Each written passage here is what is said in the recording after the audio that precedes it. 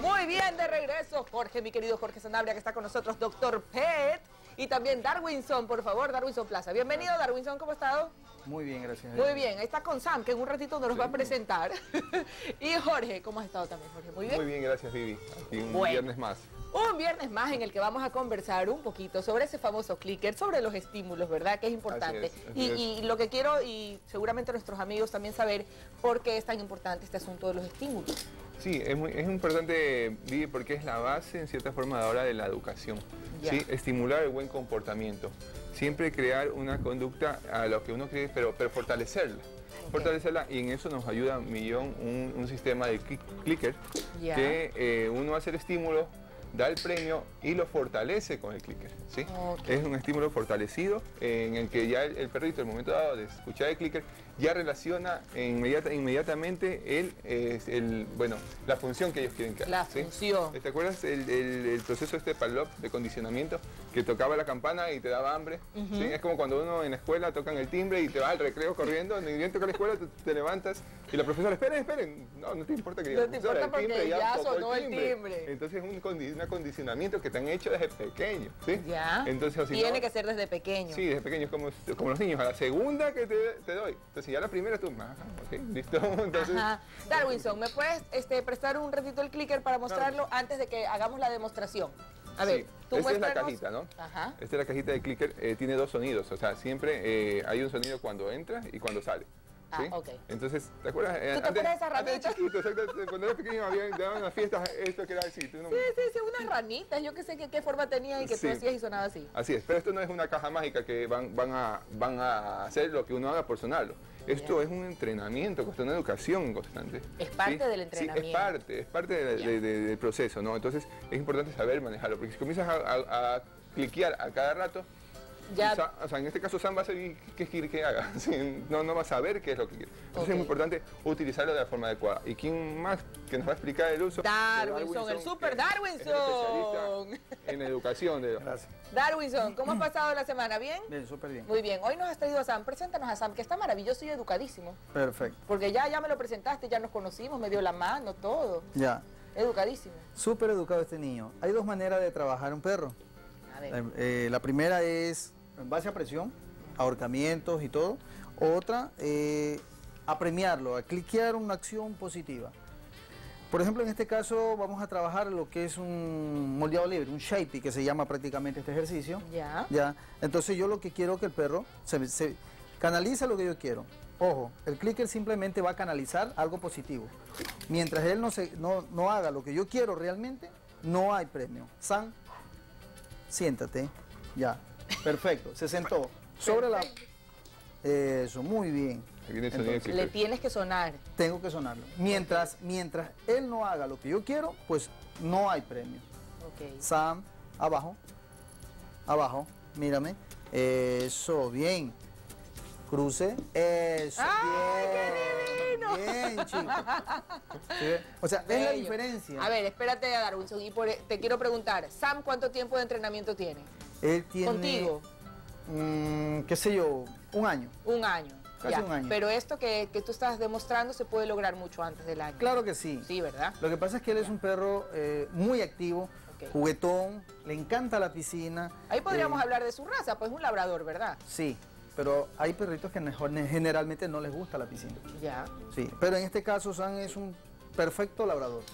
Le encanta el agua, Hacer huecos. hace ejercicio. Dañar el jardín, pues. No, casi no daña el jardín ya. él ya no, defiende, no, ya él, está, ya está él educado. defiende, pero los labradores sí, les Sí, gusta, no, les gusta eh, escarbar, hacer Mire, huecos. Por ejemplo, Ven. yo ahorita estoy us- usando simplemente eh, la manipulación, ¿ya? que esto no debería ser. A ver, O sea, lo estoy ahorcando, lo estoy haciendo esto, pero no logro nada. Pero si yo lo llamo y le digo, Sam, siéntate. Muy a las bien. buenas, a las buenas sí. Ahí cambió el tema. ok, ok, ¿Sí? sí. Muy bien, entonces siempre ya con el clicker él ha aprendido. Él digamos. ha aprendido correctamente qué es lo que se debe hacer.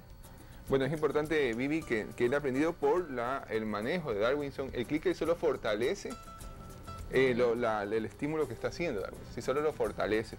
Pero en Es sí el clicker no es que le- lo, lo enseña. Lo que hace nomás es forta- fortalecer lo que le ha enseñado. ¿sí?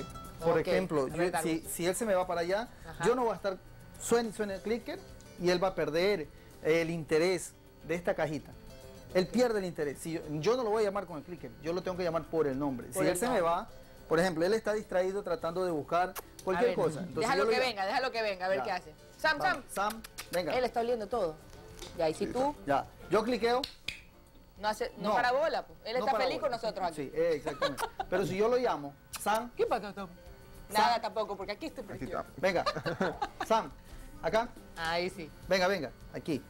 Ey, Está mira. oliendo. Está está- oliendo, No ha está reconocido el lugar porque llegó y no tuvo chance de oler. Eso es verdad. Eso es. Eso Hay es que verdad. darle chance que huela.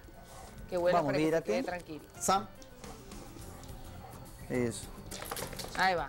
Es un desestresante. Cuando el perro se sacude, signi- significa que Está eliminando. ay, ya está eliminando en- Ah. energía, está eliminando órdenes, simplemente es como que ya déjame solo.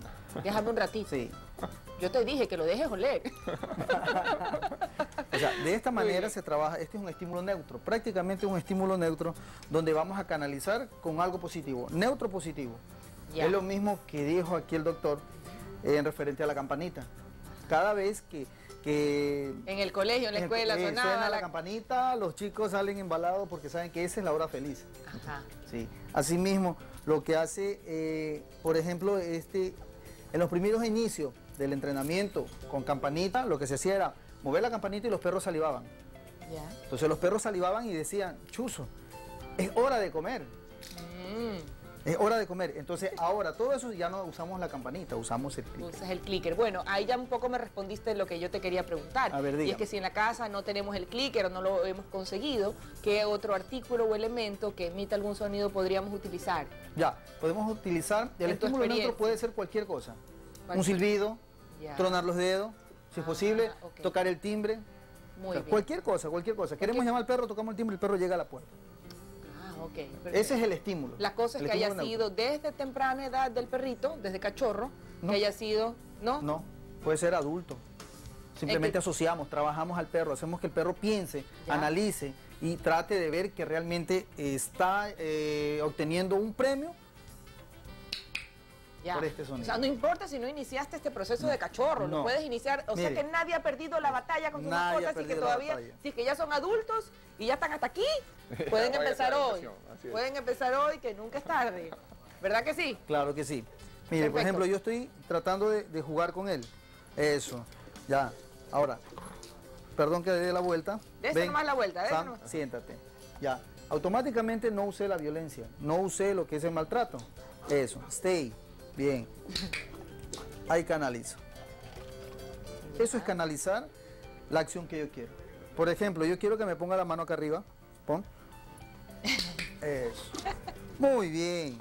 Se ganó el premio. Se ganó el si premio. yo pongo la pierna y no hace nada, Nada que no ver. hay premio. Ni Entonces, tampoco hay el clic. eh, ni hay clic. Ni hay clic. Simplemente canalizamos lo que es la acción que queremos eh, del perro. Mire, yo trato de sentarlo, ahorcarlo y él no va a dar. O sea, le estoy obligando al perro.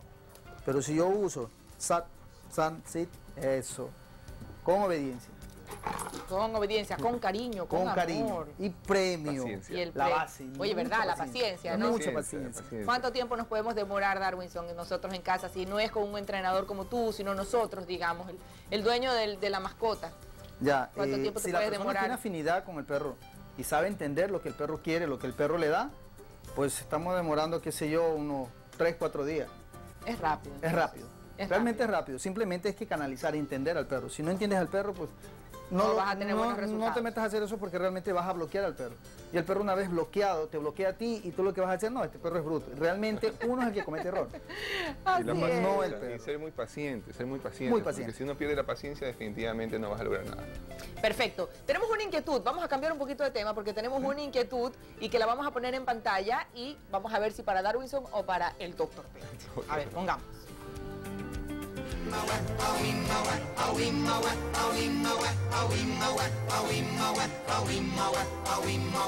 Doctor Pet, eh, una pregunta. Mis San Bernardo siempre en la mañana tiran este, lagañas. Eh, ¿Qué me recomendaría usted para poder evitar que ellos a ellos les salgan las lagañas?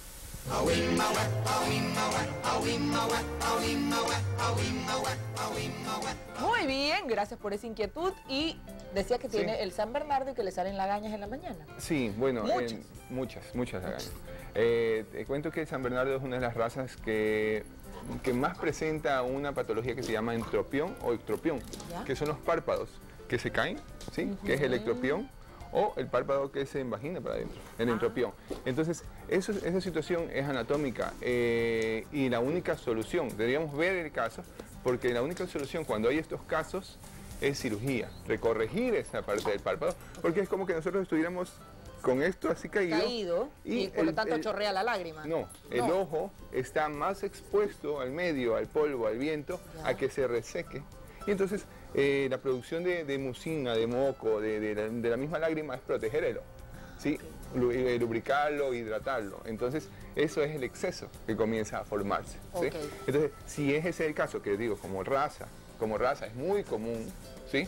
Del- el, el- la- el, digamos, el tratamiento es cirugía, tratar de reconstruir la parte de, de, de párpado, una cirugía Como estética. nosotros, ¿sí? una cirugía plástica, Sí, una, cirugía estiradita. plástica, En la que se proteja el ojo como debe protegerse. ¿sí? Ok. Normalmente en los ojos de los perritos deberíamos ver la parte eh, oscura, bueno, depende del, del color de los ojos, pero en todo caso no la parte blanca. ¿Sí? No No, es como nosotros, que la parte abajo. blanca. Sí, la parte blanca que no se la conjuntiva no se la ve. Entonces, eh, si ya cuando se ve es porque no tiene la protección adecuada de los párpados. Eso se presenta en los San Bernardo, como hemos San escuchado, ¿qué Bernardo? Ah. Sharpei, Bull Nasty, Bulldog, eh, bueno, eh, perritos Pug, perritos también en los pequinés, Perfecto. Para estar ¿sí? pilas, pues para estar Sí, pilas. Quizás no se manifieste al inicio, pero sí ya cuando el perro llega. Sí, pero es una molestia constante, como dice, todos los días produce una, o sea, no, no una, Sino bastante. o sea, bastante. Entonces, es un llamado de atención, ¿sabes qué? Está pasando algo ahí. Y ahí la solución con la cirugía. Así generalmente es esta, la cirugía. Para esas razas generalmente se presenta esta. Si no, si es un proceso infeccioso, un proceso inflamatorio, eh, un proceso viral, bueno, con unas gotas se puede controlar. Se controla y se soluciona. Y si, no lo operamos, podemos poner lubricantes, hidratantes hasta llegar a un momento de operarlo para proteger el ojo y que no llegue a ser un proceso infeccioso. Perfecto, muy bien. María Ruth, que también ha estado aquí escuchando la entrevista mientras arregla todas sus cositas para su receta. Cuando iniciamos el programa, ella me decía que yo le decía, ya cuando te animas pues, a tener una mascota. A ver, María Ruth, y ella quiere preguntar, pues, porque tiene departamento. Sí. Entonces, María Ruth, a ver, pregunte, aproveche. En mi casa vivimos dos personas, mi mami y yo, departamento, este, eso, vivimos frente al malecón, es decir, no tendríamos esa facilidad tampoco de sacar a nuestra mascota a pasear al malecón porque sí. está prohibido. ¿Qué razas van bien para un apartamento, digamos, que se les asegure calidad de vida, eh, que, que la pasen bien, que estén ¿Y no hay nadie alérgico? No, Ya. Mira, por, por lo que me cuentas, no hay, no hay mucho espacio, eh, no hay tiempo, porque también trabajas todo el día, no hay tiempo para sacarlos. Eh, necesitamos una raza pequeña, ¿sí? una raza pequeña que no sea de mucha actividad. Te diría que un maltés, ¿sí? un maltés. eh, bueno, un Yorkshire es una raza eh, cazadora, competitiva, pero no, pero, sí, pero no, no exige mucho espacio tampoco. Eh, un Shih Tzu, ¿sí? un Shih Tzu eh, y un gato. O un gato. Oye, los pug, los pug son chiquitos también. Sí, pero son muy Pero activos. Son muy muy, activos, no para departamentos. fuertes, son muy, muy, muy ansiosos para salir. Y ¿sí? en el caso de los malteses o los shih tzu, ¿es bueno, o de, incluso de los yorkshire, de tenerles el pelo corto? Digo, por el clima de Mm, Guayaquil.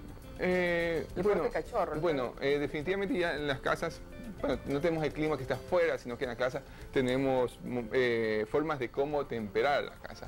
Te diría que no es necesario. El, el el perrito del Yorkshire es muy fino, muy celoso. Entonces, con un cepillado diario es suficiente aireación que puede tener. No, no creo el caso de que tengas que mantenerlo abajo, el perro, ¿sí?